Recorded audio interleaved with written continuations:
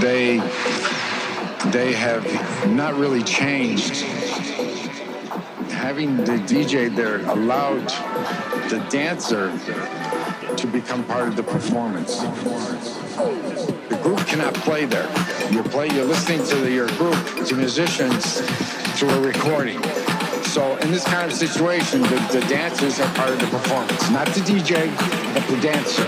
And that's the way I approach it, and that's the way it, it works. It